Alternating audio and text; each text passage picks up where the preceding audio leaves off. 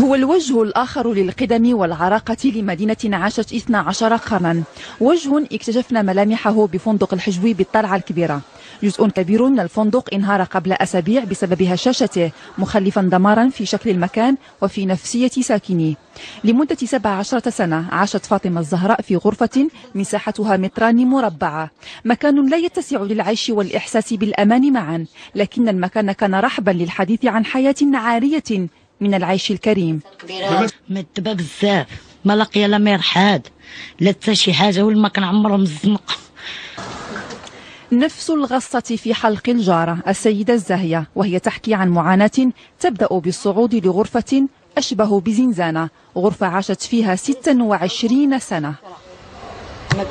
الحياة ديالي كل هذا الزكرفيص فهمتي حبيبة؟ حتى نهار بالسعاده ما شنا هنايا راك عارفة الحالة ديال الديور الرايبي الديور المهدومين البنيه القديمه راكي عارفه ماشي شي حي راكي عارفه تدخلي لي هذا الغبرة عليك هذاك لا لا ضو لا هادي لا هاديك. محرومة من جميع الحاجات محرومة هنايا. اللهم هكا مستوره ولا بالزنقه راك عارفة الزنقة اش كتجمع؟ اللهم لك الحمد. اللهم لك الحمد.